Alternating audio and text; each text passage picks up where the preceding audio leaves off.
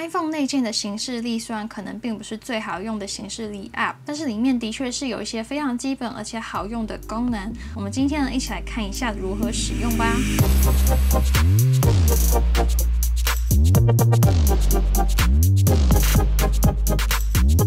大家好，我是苹果妹。不知道大家有没有在使用 iPhone 的形式力呢？我们今天这部影片呢，是专门拍给那些你从来没有使用过行事历的人。教你把重要的工作行程啊，或者是每年必须要记得的重要的日子，像是生日啊或者纪念日等等的，把它加到你的行事历里面。另外还有一个非常重要的功能，就是提醒，你可以设定在行程发生之前的一段时间提醒你。那我们现在就一起来看一下怎样使用这些功能吧。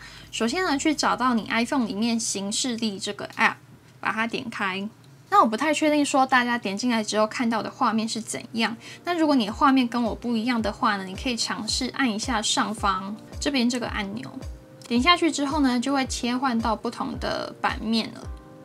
那我自己呢是比较习惯现在大家看到的这个版型，就是上面是月历，然后下面是当天的行程。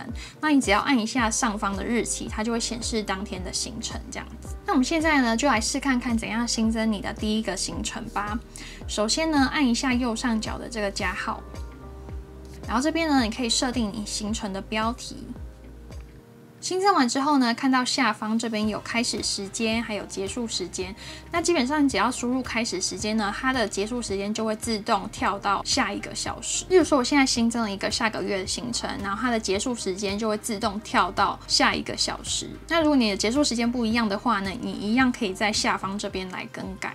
然后下一个呢，大家看到这边有一个选项叫做重复，就是你的这个行程是不是固定一段时间会发生的？例如说每个礼拜啊，或者是每个月啊、每年啊。那如果你重复的频率是比较复杂一点的话呢，你可以点到这个选项里面，就是点到右边的这个永不里面，点进去，你就会看到一些比较基本的选项，像是每天啊、每周、每个月等等的。那如果这边没有你要的选项的话呢，你就选一下下面的自定，点这个自定。这边大家看到第一个选项叫做频率，就是你的这个行程多长发生。例如说你的行程如果是每十五天发生一次的话呢，你可以先选每天，然后下面这个每这边你点进去，你就可以去选十五，然后这边有一个小小的注解，它这样子就变成每十五天会重复一次。或者是今天我们如果想要设定母亲节的话，也是可以的哦。我们在频率这边选每年，进到每年之后，下面会出现一个月历。我们就选五月，然后下面又再出现一个选项，我们把这个星期打开，然后呢，这边就可以去选第二个星期天，这样子就是母亲节了。所以大家可以看到呢，这个重复行程它制定的空间非常大，所以如果你有一些比较特别的行程要重复的话，就可以来这边玩玩看哦。调整完之后，我们按一下上一步。再下一个选项呢，叫做结束重复，就是刚才如果你有设定这个行程它重复的频率的话呢，下面就会自动出现这个选项。那看你要不要选择一个结束的日期，例如说你今天参加了一个三个月的课程的话呢，你就可以把结束重复的日期把它调整成这个课程结束的日期。那下一个选项叫做路程时间，就是今天如果你的行程是需要通勤的话呢，你就可以把这个时间也算进去。我们点进去。那你就可以把这个选项打开，这边你就可以去选择说你通勤通常会花多久的时间。那我们按上一步，接着下一个选项叫做行事历，这边我们点进去看一下。点进来之后呢，大家应该会看到这边有你预设的 email 的地址，也就是行事历呢，它其实是跟 email 绑在一起的。你在 iPhone 上面有设定几个 email，这边行事历应该就会有几个选项。那不同的行事历呢，有点像是不同的资料夹。如果你今天是使用 Gmail 的话，你在电脑上面网页版的 Gmail 也会看到相同的行程，或者是你今天想要在 iCloud 下面新增不一样的行事历，例如说工作的行事历啊、休闲的行事历啊、跟家。人一起的行事历在这边都可以新增，或者是你今天在某间公司工作，你们有共同行事历的话，也可以在这边出现。如果你今天没有要分类的话，就可以忽略这个步骤。那我们回到上一步，在下面有一个选项叫做提示，提示这个功能非常的重要。如果你希望在行程发生的当下，或者是提前通知你的话呢，就必须要把这个选项打开。我们点进去。里面呢就有非常多不一样通知的时间，例如说行程开始的十五分钟啊，或者是一天之前。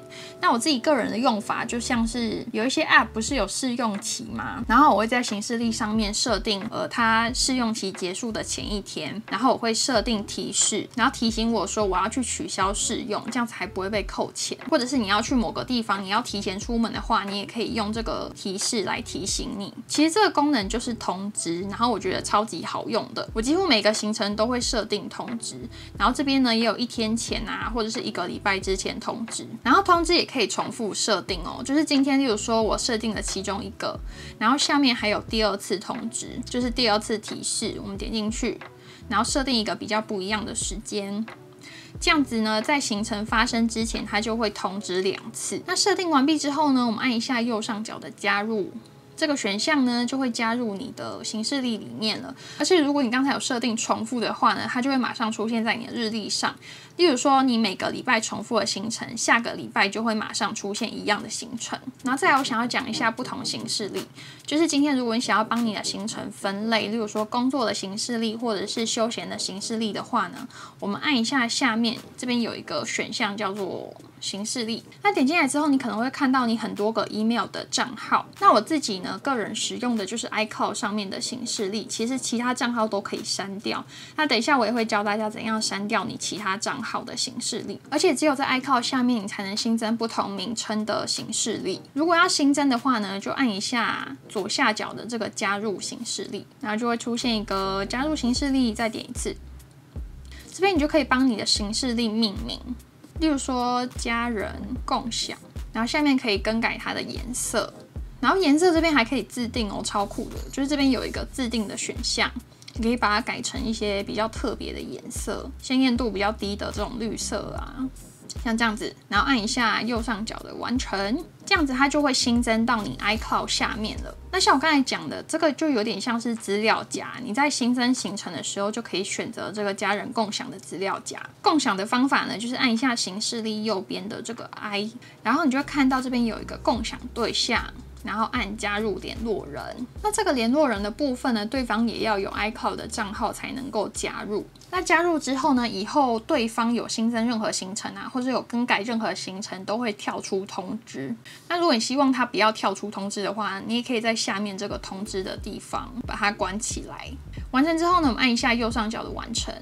那接下来要来讲一下行事历里面你没有在用的账号要怎样删掉。因为我猜大家看到这个画面，应该是有蛮多你没有在用的账号的。那首先呢，我们要去打开设定，设定打开去找到行事历，在这边点进去，形式例里面呢，我们去找到账号这个选项，再点进去，这边你就会看到就是你所有的 email 账号。那你要做的事情呢，就是去找 email 下面有形式例选项的，例如说这个。在 email 下面有行事历，我们点进去。那今天如果你没有要使用到这个账号的行事历的话呢，你就在行事历的选项把它绿色关起来。它下面会显示一个视窗，问你说要不要把资料删掉。那你就选从 iPhone 删除。这样子你在形式里面就不会看到那么多账号了。然后要注意一下，千万不要选择这个删除账号哦。然后如果你今天有很多个 email 下面都有行事历的话呢，你就一个一个点进去，然后把行事历关起来就可以了。然后千万不要按到删除账号。那删完之后，我们回到行事历这边再看一次行事历。点进去之后呢，你会发现就是这边的账号就变少了。然后一样呢，我们在新增行程的时候，你在形式力这个选项这边。这边点进去就会看到我们刚才有新增的资料夹，也就是家人共享，然后也会少了很多，就是你没有在用的账号。那我们今天呢这个小小形式力的教学就到这边，希望帮助到大家。另外呢，如果你还有任何关于形式力的问题，或者是想要学的 iPhone 教学的话呢，也欢迎在留言区告诉我哦。我是苹果妹，我们下次再见喽，拜拜。